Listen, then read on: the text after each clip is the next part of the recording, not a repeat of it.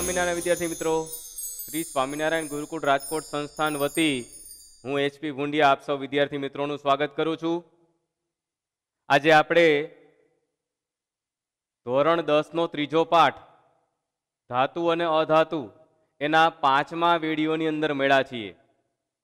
ધાતુઓ મોટા ભાગે આયનિક સંયોજનો બનાવે છે અને આવા આયસ, આયનીય સંયોજનો છે, એના ભૌતિક ગુણધર્મો એના વિશે આપણે આ વિડીયોની અંદર અભ્યાસ કરવાનો છે.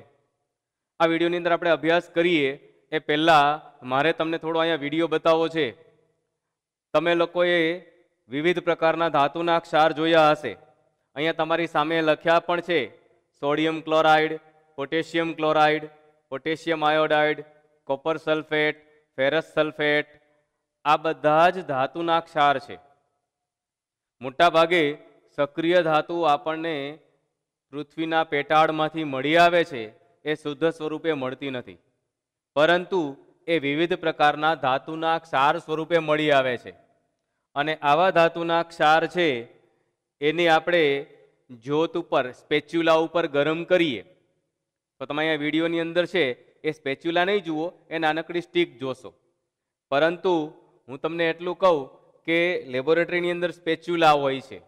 એ સ્પેચ્યુલા ઉપર લઈ અને ગરમ કરવાના હોય છે. આપણી પાસે સ્પેચ્યુલા ના હોય તો તમે લોકો સ્ટીકની અંદર લઈ અને જો અહીંયા તમને દેખાય છે, એ રીતે ધાતુના ક્ષારને બર્નરની જ્યોત ઉપર રાખો તો ધીમે ધીમે અલગ અલગ રંગની જ્યોત જોવા મળશે.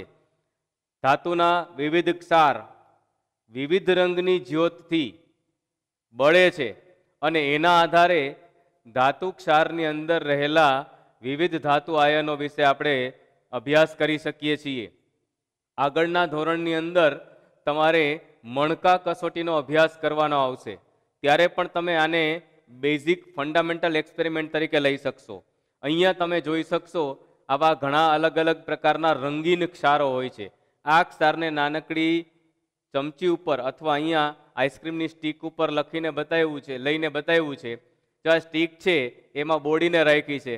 અને એને બર્નરની જ્યોત ઉપર ગરમ કરતા લાલ રંગની જ્યોત કેસરી, પીળા, લીલા એમ અલગ અલગ રંગની જ્યોત આપણને જોવા મળે છે.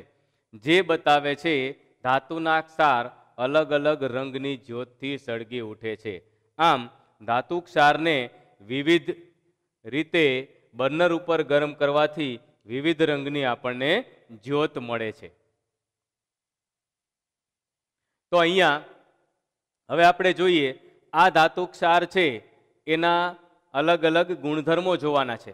ભૌતિક સ્વભાવ, તો સૌથી પહેલો એનો ભૌતિક સ્વભાવ કેવો છે? તો મોટાભાગે ધાતુ આયનો છે કે એના જે ક્ષાર છે, એ ધન અને ઋણ આમ આયનોના બનેલા હોય છે. દાખલા તરીકે અહીંયા વાત કરીએ, સોડિયમ ક્લોરાઇડ, તો સોડિયમ એટલે એને પ્લસ અને સીએલ માઇનસ તો સોડિયમ ક્લોરાઇડ છે એ ધન અને ઋણ આયનોનો બનેલો છે. આમની વચ્ચે જે બંધ છે એને આયનિક બંધ કહેવાય છે. તમે નવમા ધોરણની અંદર અભ્યાસ કરી ગયા છો કે ધન અને ઋણ આયનો એકબીજા સાથે બંધ બનાવી અને જે સંયોજન બને આને કહેવાય છે આયનિક સંયોજનો. અને આવા બંધને પણ કહેવાય છે આયનિક બંધ. તો આવા ધાતુ ક્ષાર મોટા ભાગે આયનિક બંધના બનેલા છે. પરિણામે એની વચ્ચેનું આકર્ષણ ખૂબ જ વધારે હોય છે. એટલે જ્યારે આ બંધને તોડવો હોય, તો એને ખૂબ જ વધારે પ્રમાણમાં ઊર્જા આપવી પડે. એટલે આવા સંયોજનો મોટા ભાગે આપણને ઘન અવસ્થામાં જોવા મળે છે, એ સખત હોય છે અને બ્રિટલ હોય છે. એટલે આયનિક સંયોજનો મોટા ભાગે ઘન અવસ્થામાં જોવા મળે છે. અને એ બરડ અથવા બટકણા હોય છે અને સખત હોય છે. આમ, મોટાભાગના આયનીય સંયોજનો ઘન હોય છે અને એમની વચ્ચેનું આ આકર્ષણ બંધ એને ખૂબ જ જકડીને રાખે છે. બીજો એનો ગુણધર્મ છે ગલન બિંદુ અને ઉત્કલન બિંદુ. મેલ્ટિંગ પોઈન્ટ અને બોઇલિંગ પોઈન્ટ ગલન બિંદુને અંગ્રેજીમાં મેલ્ટિંગ પોઈન્ટ કહેવાય છે એમપી અને ઉત્કલન બિંદુ છે, એને બોઇલિંગ પોઈન્ટ કહેવાય છે. તો આમ, આયનીય સંયોજનો છે, એની વચ્ચે ધન અને ઋણાયનો વચ્ચે પ્રબળ આકર્ષણ બળ છે. માટે આ બંધને તોડવા માટે પુષ્કળ ઊર્જા આપવી પડે છે. અને આ ઊર્જા આપીએ ત્યારે એની વચ્ચેનું બંધ તૂટે છે. માટે આવા આયનીય સંયોજનો જે છે એના ગલનબિંદુ અને ઉત્કલન બિંદુ પ્રમાણમાં ઊંચા જોવા મળે છે. તો અહીંયા તમે જોઈ શકશો કેટલાક ધાતુ ક્ષાર આપ્યા છે, કેટલાક આયનીય સંયોજન આપ્યા છે. સોડિયમ ક્લોરાઇડ એટલે કે મીઠું, નમક. તો એનું ગલન બિંદુ તમે જોશો, મેલ્ટિંગ પોઈન્ટ. તો એ છે એક કેલ્વિન. યાદ રાખજો, ગલન બિંદુ અને ઉત્કલન બિંદુ એનું તાપમાન છે એ ડિગ્રી સેલ્સિયસ ફેરાનીટ કે કેલ્વિનમાં માપી શકાય છે. મોટાભાગે એસઆઈ એકમ કેલ્વિન છે એટલે આપણે કેલ્વિનનો ઉપયોગ કરશું. તો સોડિયમ ક્લોરાઇડનું જે ગલનબિંદુ છે એક હજાર ચુમ્મોતેર કેલ્વિન છે. જ્યારે એનું ઉત્કલન બિંદુ છે સોળસો ને છ્યાસી કેલ્વિન છે. તમને વિચાર આવશે કે મીઠું તો પાણી નાખ્યા ભેગું પીગળી જાય છે. નહીં, મીઠું એ પીગળતું નથી, એ મીઠું ઓગળે છે. દ્રાવ્ય થાય છે પાણીમાં. મીઠાને જ્યારે ગરમ કરવામાં આવે ત્યારે લગભગ એક હજાર ચુમ્મોતેર કેલ્વિન તાપમાને એ પીગળવાનું શરૂ થાય છે. એટલે ખૂબ જ ઊંચા તાપમાને પીગળે છે.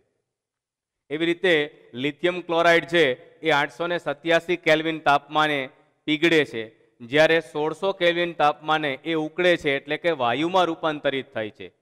કેલ્શિયમ ક્લોરાઇડ એનું મેલ્ટિંગ પોઈન્ટ છે એક હજાર પિસ્તાલીસ કેલ્વિન. જ્યારે ઉત્કલન બિંદુ છે એક હજાર નવસો કેલ્વિન. એટલે કેલ્શિયમ ક્લોરાઇડને ઓગણીસો કેલ્વિન તાપમાને ગરમ કરવામાં આવે, ત્યારે એ વાયુમાં રૂપાંતરિત થાય છે.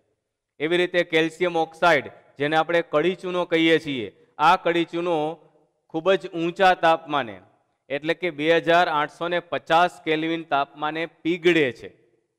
તમે જે ચૂનાનું પાણી કે જુઓ છો, એ ખરેખર ફોડેલો ચૂનો છે, કેલ્શિયમ હાઇડ્રોક્સાઇડ છે. એ કેમિકલ જ અલગ છે. જો ચૂનો જ લઈએ એને માત્ર એને ગરમ કરીને પીગાળવા પ્રયત્ન કરીએ, તો બે હજાર આઠસો ને પચાસ કેલ્વિન જેટલા તાપ, ઊંચા તાપમાને પીગળે છે. જે લોખંડ કરતાં પણ ઊંચું તાપમાન છે. અને એ ત્રણ હજાર એકસો ને વીસ કેલ્વિન તાપમાને વાયુમાં રૂપાંતરિત થાય છે. આમ, કેલ્શિયમ ઓક્સાઇડ ખૂબ જ ઊંચું ગલનબિંદુ ધરાવે છે. એટલે જ મિત્રો યાદ કરજો કે મોટી મોટી ધાતુઓની ભઠ્ઠી હોય છે, એની અંદરની દિવાલો ચૂનાની બનેલી હોય છે. લોખંડને પીગાળવા માટે પણ ભઠ્ઠીની અંદરની દિવાલો છે એ ચૂનાની બનેલી રાખવામાં આવે છે. કારણ કે લોખંડ છે એ પંદરસો ને ઓગણચાલીસ ડિગ્રી સેલ્સિયસ તાપમાને પીગળે છે. એના કરતાં પણ ખૂબ જ ઊંચા તાપમાને કડી ચૂનો છે એ પીગળે છે. એટલે આનું આ ગલનબિંદુ ખૂબ જ ઊંચું છે. મેગ્નેશિયમ ક્લોરાઇડ એનું ગલનબિંદુ છે નવસો ને એક્યાસી કેલ્વિન, જ્યારે એનું ઉત્કલન બિંદુ છે સોળસો ને પંચ્યાસી કેલ્વિન. આમ તમે અહીંયા ચાર્ટ ઉપરથી જોઈ શકશો કે મોટા ભાગે આ ધાતુના જે ક્ષાર છે અથવા તો આયનીય સંયોજનો છે, એના ગલનબિંદુ અને ઉત્કલન બિંદુ પ્રમાણમાં ઊંચા જોવા મળે છે. ત્રીજો ગુણધર્મ આપણે જોઈએ તો એ છે દ્રાવ્યતા. હમણાં જ આપણે જોયું કે આ આયનીય સંયોજનો છે, એ ધન અને ઋણ આયન વચ્ચે આયનિક બંધ બનવાથી બને છે. માટે એ ધ્રુવીય દ્રાવક ધ્રુવીય દ્રાવક એટલે પાણી. ધ્રુવીય દ્રાવક એવા પાણીમાં બહુ સરળતાથી દ્રાવ્ય થઈ જાય છે. જ્યારે અધ્રુવીય દ્રાવક એટલે કે કાર્બનિક દ્રાવક જેવા કે કેરોસીન, પેટ્રોલ, વિવિધ પ્રકારના આલ્કોહોલ વગેરેમાં દ્રાવ્ય થતા નથી. મોટાભાગના આયનિક સંયોજનો ધ્રુવીય દ્રાવક પાણીમાં સરળતાથી દ્રાવ્ય થઈ જાય છે જ્યારે અધ્રુવીય દ્રાવક, કાર્બનિક દ્રાવક એની અંદર દ્રાવ્ય થતા નથી. આમ તો અધ્રુવીય દ્રાવક તરીકે કેરોસીન છે, એને પેટ્રોલ છે આપણા જાણીતા છે એટલે એનું નામ લખ્યું છે. આ સિવાય આવે કાર્બન ડાયસલ્ફાઇડ, બેન્ઝીન, ફિનોલ વગેરે પ્રકારના લેબોરેટરીમાં આપણને દ્રાવકો જોવા મળે છે. આવા બધા દ્રાવકોમાં આ આયનીય સંયોજનો અદ્રાવ્ય જોવા મળે છે. અને છેલ્લો ગુણધર્મ છે વિદ્યુત વાહકતા તો વિદ્યુત વાહકતા જોવી હોય તો અહીંયા આપ ચિત્રની અંદર જોઈ શકો છો, એક પાત્ર લેવાનું છે. આ પાત્રની અંદર આપણે જે તે ધાતુના ક્ષાર અથવા તો આયનીય સંયોજનો ઉમેરીએ, ત્યારબાદ એમાં બે ધ્રુવ ગોઠવવાના છે. મોટાભાગે ગ્રેફાઇટના ધ્રુવ ગોઠવવાના છે. આ ગ્રેફાઇટ એટલે આપણે જે પેન્સિલમાં લીડ ઉપયોગમાં લઈએ છીએ ને, એ ગ્રેફાઇટની બનેલી લીડ હોય છે. જે મોટા ભાગે અન્ય રીતે નિષ્ક્રિય હોય છે. તો આ ગ્રેફાઇટના ધ્રુવ લઈએ અને એમાં બતાવ્યા પ્રમાણે વાયર વડે પરિપથ પૂર્ણ કરી બલ્બ જોડી દઈએ. અને ત્યારબાદ જો આપણે સ્વિચ ચાલુ કરીએ, તો એમાં બલ્બ ચાલુ થશે. જે દેખાડે છે કે આયનીય સંયોજનો મોટા ભાગે વિદ્યુતના વાહક છે. પણ આયનીય સંયોજનોને આપણે આ રીતે જોઈએ તો ઘન અવસ્થામાં. એટલે હવે આ આકૃતિ પછી અહીંયા તમને એક સરસ મજાનો પ્રયોગ બતાવ્યો છે. જેની અંદર તમે જોઈ શકશો, એક બલ્બ છે. આ બલ્બ છે, એના બંને છેડે આપણે ધ્રુવ ગોઠવા છે. ધાતુ ઉપર રાખો એટલે ચાલુ થશે. હવે એને આપણે અલગ અલગ લિક્વિડમાં બોયડા. લિક્વિડમાં બોયડા એટલે ખબર પડશે, એક જ લિક્વિડમાં ચાલુ થયા. ખરેખર નીચે જુઓ, ધાતુ છે. તો ધાતુ પોતે વિદ્યુતની સુવાહક છે? જે સર્કિટ પૂર્ણ બતાવે છે. હવે આ જે દ્રાવણ ભર્યા છે, એ ખરેખર જે ઘન પદાર્થ હતા, એમાં પાણી નાખી દીધું. પાણી નાખીને હલાવી દીધું. હલાવી દેશું એટલે હવે સારનું દ્રાવણ થઈ ગયું. હવે ફરી પાછું આપણે એની અંદર આ જ બલ્બ આપણે આવી રીતે બોળશું એટલે આપણને ખબર પડશે કે હવે બલ્બ જુદી જગ્યાએ ચાલુ થાય છે. જે બતાવે છે કે ધાતુના ક્ષારનું દ્રાવણ છે, એ વિદ્યુતનું સુવાહક છે. પેલા જોયું આપણે કે ધાતુ વિદ્યુતની વાહક હતી, એટલે જ લાઇટ ચાલુ થઈ. હવે એમાં પાણી નાખી દીધું, તો ધાતુ પાણીમાં દ્રવ્ય નથી. એટલે ધાતુ ઉપર આવી ગઈ. અને એ છૂટી પડી ગઈ, એટલે વિદ્યુત વાહકતા જોવા ના મળી. કારણ કે ધાતુના જે કણ હતા, એ પાણીમાં છૂટા છૂટા દ્રાવ્ય થઈ ગયા. એ જ વખતે આપણે જોયું કે ધાતુનો ક્ષાર જે પાત્રમાં પડેલો હતો, એ ધાતુના ક્ષાર છે, એની ઘન અવસ્થામાં હતા. અને ઘન અવસ્થામાં હતા એટલે એના આયનો એકબીજા સાથે મજબૂતાઈથી જકડાયેલા હતા અને એવી અવસ્થામાં એ વિદ્યુતનું વહન કરી શકતા નથી. માટે આવા આયનીય સંયોજનો ઘન અવસ્થામાં વિદ્યુતના અવાહક હોય છે. જ્યારે એને પાણીમાં દ્રાવ્ય કરવામાં આવે, ત્યારે આ એને પ્લસ આયન અને સીએલ માઇનસ આયન એવી રીતે કોઈ પણ આયનીય સંયોજનો લઈ લ્યો. કોપર સલ્ફેટનું જે દ્રાવણ છે, એ એકદમ મજબૂત રીતે જકડાયેલા કોપર સલ્ફેટમાંથી બને. પણ જેવું આપણે પાણીમાં દ્રાવ્ય કરીએ, એટલે એમાંથી કોપર અને સલ્ફેટ આયનો આ રીતે એકબીજાની નજીક નજીક રહીને જુદા પડેલા હોય. એટલે કે આયનિક કન્ડિશનમાં હોય. બંને પ્રકારના આયનો હોય છે. અને આવા આયનો સતત ગતિશીલ હોય છે. પરિણામે એ વિદ્યુતનું વહન કરી શકે છે. કારણ કે વિદ્યુતનું વહન ઇલેક્ટ્રોનને આભારી છે, ઇલેક્ટ્રોન ઋણ વીજભાર ધરાવે છે. અને એટલે જ આવા ગતિશીલ આયનો જે છે, એ વિદ્યુતનું વહન કરી શકે છે. માટે ધાતુના ક્ષાર અથવા તો આયનીય સંયોજનો છે, એનું જલીય દ્રાવણ છે, એ વિદ્યુતનું વાહક છે.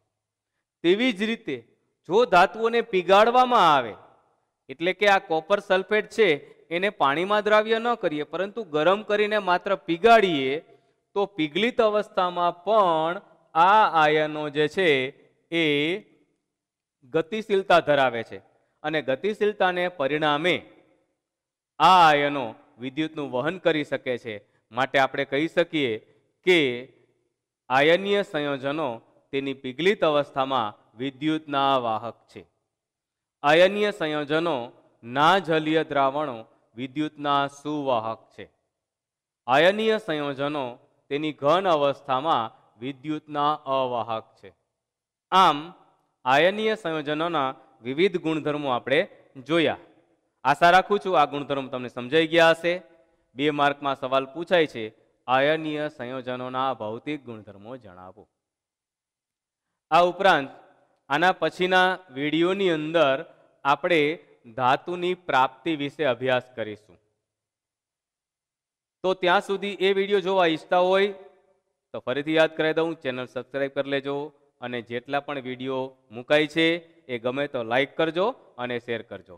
સૌનો આભાર, સૌને જય સ્વામિનારાયણ.